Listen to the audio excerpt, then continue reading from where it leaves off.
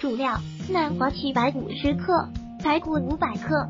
辅料：酱油一勺，生粉一勺，蚝油一勺，砂糖一勺，芝麻油一勺，豆豉二勺，蒜一颗。准备时间：十分钟内。制作时间：三十分钟到一小时。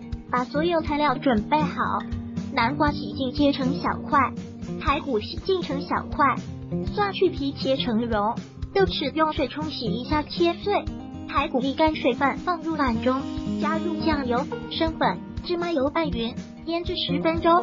锅洗净，下油，油烧至六成热时，放入切碎的蒜蓉，中火爆香，放入豆豉碎，中火爆香，放入排骨。炒到排骨转色后，盖上锅盖，大火慢烧两分钟左右。倒入南瓜，快手不断的翻炒，加入一勺的砂糖，翻炒均匀，加入蚝油，倒入少许清水，盖上锅盖，中火烧至收汁，装碟即可开吃。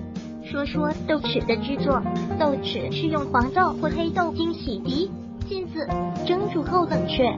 加入曲菌，发酵后再制干盐渍，最后取出淋洗晒干制成。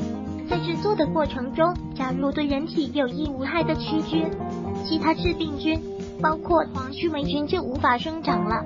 所以不用担心因为豆豉发酵而引起黄曲霉菌的生成，请吃吧。南瓜的营养价值也非常非常高哦，它除了含有大量的维生素 A、维生素 C。